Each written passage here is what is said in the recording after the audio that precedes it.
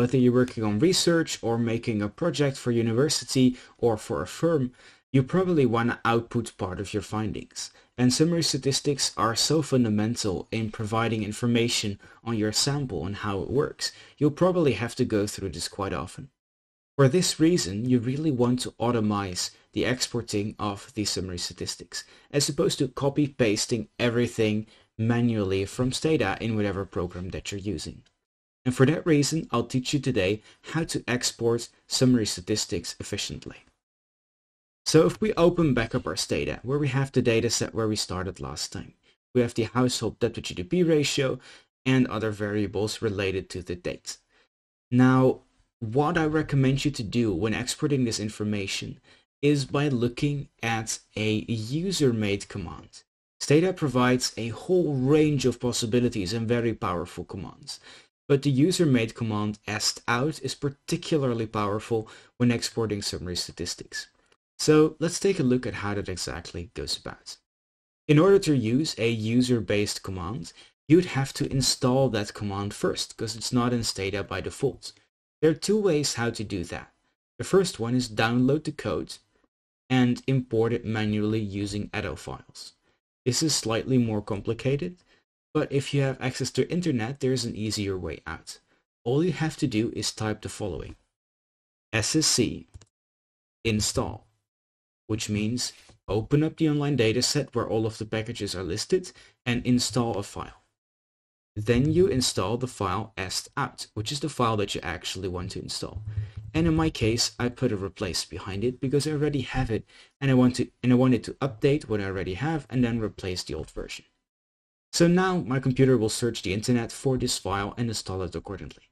And then I'll get a message that it has already been installed and that it's now been replaced. So now we have the user-based command. Then the next thing you want to do consists of two steps. First, you want to estimate using the estpost command the actual information that you're going to need. So you would use estpost summarize and then the variable that you want to have. Say I want to have these three variables.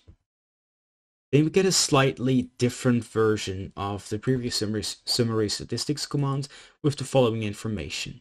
Again, the number of observations, the mean, variance, standard deviation, minimum, maximum, and the combined value of all of these items by variable that you use. So this basically stores them in the est-out command.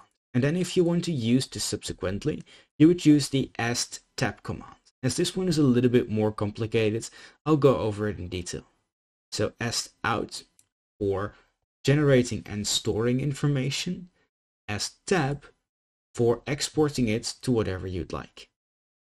So the est-tab command consists of multiple things. First, you need to set the location where you want the file to be saved.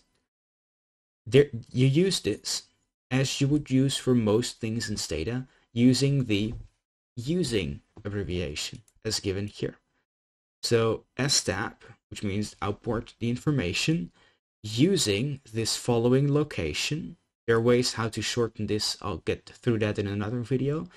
And then you have your file name, and you also need to put in the extension of the file, which tells Stata what type of file you want. You could have a rich, rich text file, or you could simply make yourself an Excel file. And then you need to tell Stata what information you actually want to have. So you would open up a cells, which generates the amount of information that you want to have.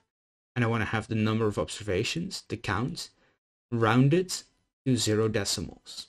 Then the mean, rounded to two decimals, the standard deviation, minimum and maximum. And for all of the variables, I want to have the information of the label, which is here, and not the variable description.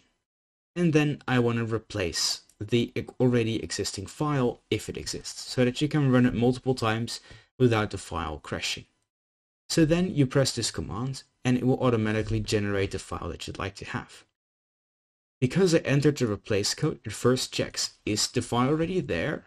Then if so, it deletes it and replaces it, but in this case, it tells me it's not found. So we don't already have the file, so it makes us a new one.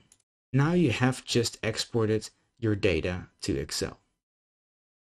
So thank you all so much for listening and watching this tutorial. I hope that you learned how to export your summary statistics to Excel or a text, text file or a rich text file in a way that is quite efficient. Thank you for listening and until the next tutorial.